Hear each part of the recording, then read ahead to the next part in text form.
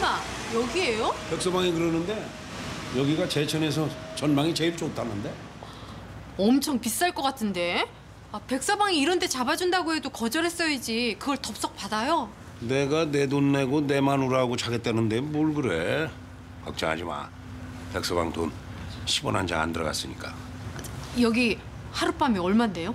소영이 들어서는 바람에 신혼여행도 제대로 못 가고 이런 데 한 번도 와본 적 없잖아 아 죽기 전에 우리도 한번 이런 데 와봐야지 아니 그러니까 하룻밤이 얼마냐고요?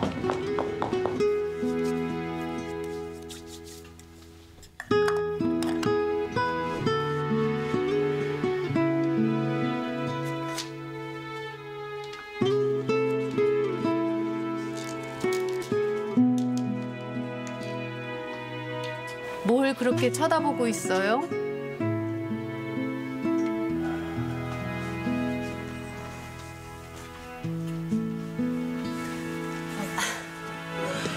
너무 좋아요.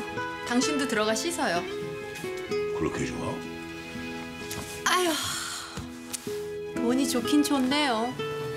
하룻밤에 날리기엔 좀 비싸지만 뭐 다른 사람들도 다 하고 사는 거 하루 정도 한다고 큰일 나는 것도 아니니까. 그러게 아 근데 어떻게 당신은 한평생 이런 데 한 번을 못 와봤냐 나만 못 왔나? 당신도 못 와왔잖아요. 아이고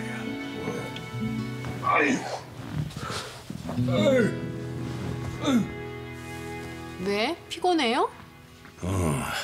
아유 하루 종일 탁사장한테 끌려다녔더니 맥이 다 빠지네 그럼 침대에서 자요. 내가 소파에서 잘게요. 아니 아니야 오늘 내가 여기서 잘게 사실 나야 뭐 출장 다니면서 이런 데 많이 잡았지 호텔 침대 좋아 그러니까 마음 편하게 자 소영이가 그러더라고요. 아빠가 대접해 줄 때 군말 없이 받으라고.